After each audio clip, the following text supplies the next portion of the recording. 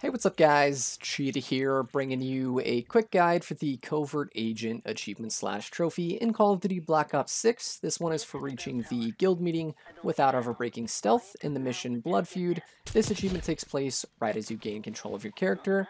If at any point you accidentally get spotted, you can just reload the last checkpoint. So starting off, take out the first guard there with a silenced headshot or a takedown, and then drop down into the water and make your way into this tunnel here. You want to follow the path, you can come up for air if you need to. Head all the way out to the other side, and then we're going to take a right here.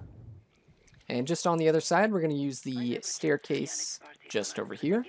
So once you come up the staircase, there will be a guard waiting for you up here, so get ready to take him out with a silenced headshot. So again, head up this little staircase here, and then get ready, peek over the corner, and you can take him out with a headshot. So he'll be waiting for you right there. Go ahead and take him out, and then from there we can climb over the wall. And we're going to use the cement block just over here, and we're going to climb up into the window on the right side. Once you get into the window here, you want to be careful as there are some guards patrolling the area. We're going to take a right, and just over here we can lockpick the door. So interact with this door, open this up,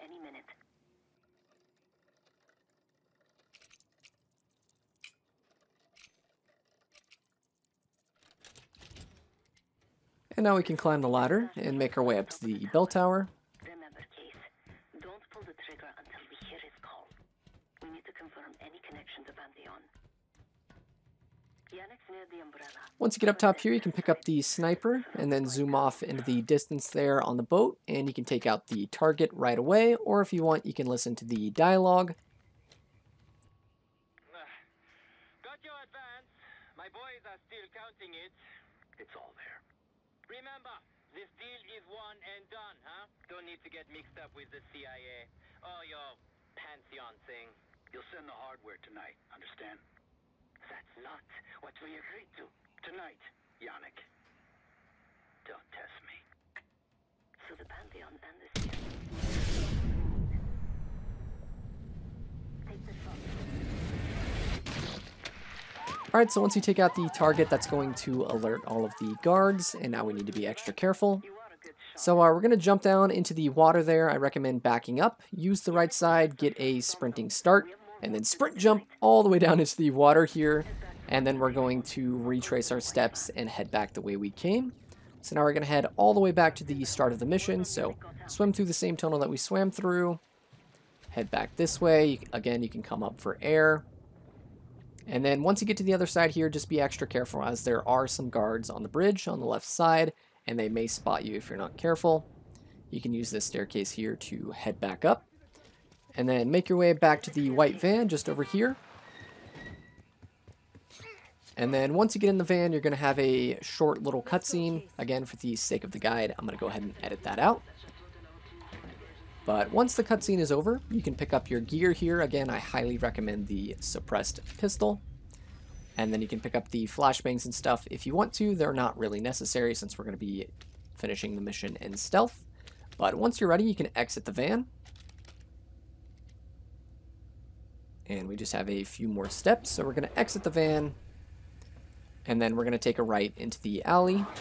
You want to be careful as there is going to be a guard that comes through the door in the alleyway just over here. So get ready to take him out. You want to kind of hug the left side. He'll walk into the alleyway just back here. And you can take him out with a suppressed headshot or a takedown, whichever you prefer.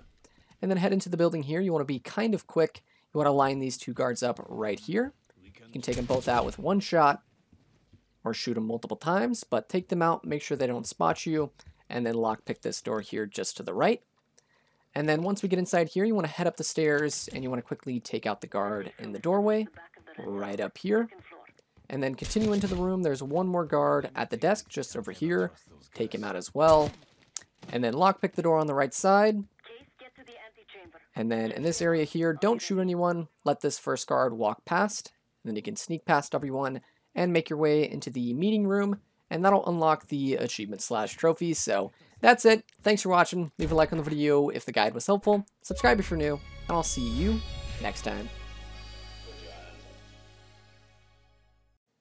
Huge shout out to my Patreon and YouTube members, and special thanks to those in tiers 3 and 2, including Tim84, Jax Jags, and Rockmono44.